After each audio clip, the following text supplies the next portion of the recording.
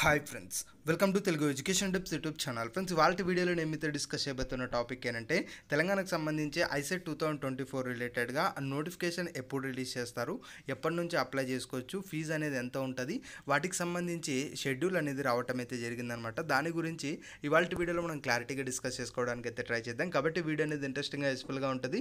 పూర్తిగా చూడడానికి అయితే ట్రై చేయండి. ఇక టాపిక్ అయితే స్టార్ట్ చేసే ముందు నచ్చిన రిక్వెస్ట్ ఏంటంటే ఇప్పటివరకు మన తెలుగు ఎడ్యుకేషన్ టిప్స్ యూట్యూబ్ ఛానల్ని మీరు ఎవరైనా సబ్స్క్రైబ్ చేసుకోకుండా చూస్తున్నట్టే మీకు యూస్ఫుల్ అయ్యే ఇలాంటి ఎన్నో వీడియోస్ కోసం అయితే సబ్స్క్రైబ్ చేసుకోండి. ఫ్రెండ్స్ ఇక టాపిక్లోకి వచ్చేసినట్టయితే ICET two thousand twenty four రిలేటెడ్గా మెయిన్గా తెలంగాణకు సంబంధించి షెడ్యూల్ అనేది ఇవాళ అయితే రావడం జరిగింది. దాని గురించి అయితే మాట్లాడుకుందాం. ఫ్రెండ్స్ ఒక చిన్న ఇంపార్టెంట్ రిక్వెస్ట్ ఏంటంటే కమ్మింగ్ మన ఛానల్లో ఐసెట్ రిలేటెడ్గా ఏ టు జెడ్ వీడియోస్ అయితే రావడం జరుగుతాయి. అంటే మనకు ఈ యొక్క ఏదైతే ఎగ్జామ్కి అప్లై చేస్తారో అప్లై చేసినప్పటి నుంచి మీరు కాలేజీలో జాయిన్ అయ్యేంత వరకు ఉన్న కంప్లీట్ ప్రొసీజర్ గురించి కమింగ్ వీడియోస్లో అయితే రాబోతున్నాయి. డెఫినెట్గా అవన్నీ కూడా ఎవరు కూడా మిస్ అయితే అవ్వకండి. ఇక షెడ్యూల్ గురించి గమనించినట్టయితే ఇక్కడ మీరు స్క్రీన్ పైన అయితే చూడొచ్చు. మెయిన్గా మే ఎగ్జామ్ వచ్చేటప్పటికి మనకు జూన్ ఫోర్త్ అండ్ ఫిఫ్త్ ఈ యొక్క టూ డేట్స్లో ఈ యొక్క ఐసెట్ ఎగ్జామ్ అనేది మనకు ఉండటం అయితే జరుగుతుంది.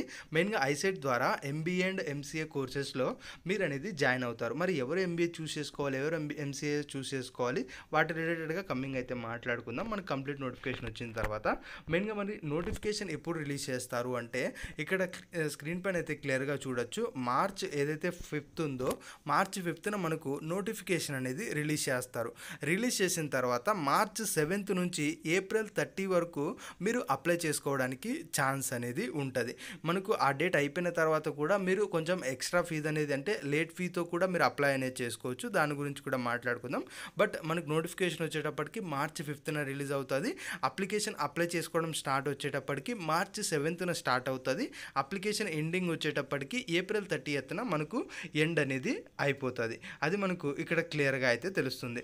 మరి ఫీజెస్ విషయానికి వచ్చినట్టయితే ఎంత ఫీజు ఉంటుంది అన్నది మనకి ఇంకా ఇక్కడైతే క్లియర్గా అయితే మెన్షన్ చేయలేదు.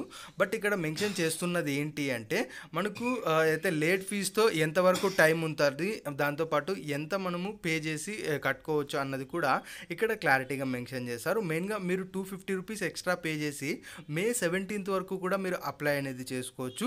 ఇంకా లేట్ ఫీజుతో మీరు five hundred rupees extra pay అనేది చేసి మే ట్వంటీ సెవెంత్ వరకు కూడా మీరు అప్లై అనేది చేసుకోవచ్చు. మరి ఎగ్జామ్ ఫీజు ఎంత ఉంటుంది అన్నది ఇంకా మనకి వీళ్ళైతే క్లారిటీగా చెప్పలేదు. మోస్ట్ ప్రాబబ్లీ మనకు ఒక six hundred seven hundred rupees మధ్యలో ఉండటానికి ఛాన్స్ అనేది ఉంటుంది. కాబట్టి ఎవరెవరైతే మనకి యొక్క ఎంబీఏ ఎంసీఏ కోర్సెస్లో ఇంట్రెస్టెడ్గా ఉన్నారో డెఫినెట్గా ఈ యొక్క డేట్స్పై ఒక లుక్ అయితే వేయండి. ఖచ్చితంగా నోటిఫికేషన్ వచ్చినప్పుడే అప్లై చేసుకోండి. లాస్ట్ డేట్ వరకు మీరైతే వెయిట్ అనేది చేయకండి. దాంతోపాటు ఏదైతే మీరు డిగ్రీ కానీ బీటెక్ కానీ ఉంటుందో దాన్నే ఏదైతే ప్రిపేర్ అవుతూ ఉంటారో దాన్ని ఇంకొంచెం డెప్త్గా ప్రిపేర్ అయితే అవ్వండి. డెఫినెట్గా మీరు ఈ ఎగ్జామ్ అనేది క్లియర్ చేస్తారు. గుర్తుపెట్టుకోండి మంచి ర్యాంక్ వస్తేనే మంచి కాలేజెస్లో సీట్ అనేది రావటం అయితే జరుగుతుంది. దీని గురించి కమింగ్ వీడియోస్లో నెక్స్ట్ మనకి డేట్స్ వచ్చిన ఏదైనా అప్లికేషన్ ఎలా అప్లై చేయాలి అవన్నిటి గురించి కూడా కమింగ్ వీడియోస్లో మనం క్లారిటీగా అయితే మాట్లాడుకుందాం. ఇది ఫ్రెండ్స్ మెయిన్గా వీడియోలో డిస్కస్ చేసుకుంది. వీడియో నచ్చినట్టయితే లైక్ చేయండి. మరి ముఖ్యంగా మన తెలుగు ఎడ్యుకేషన్ టిప్స్ యూట్యూబ్ ఛానల్ని మీరు ఎవరైనా సబ్స్క్రైబ్ చేయకుండా చూస్తున్నట్టయితే మీకు యూస్ఫుల్ అయ్యే ఇలాంటి ఎన్నో వీడియోస్ కోసం అయితే సబ్స్క్రైబ్ చేసుకోండి.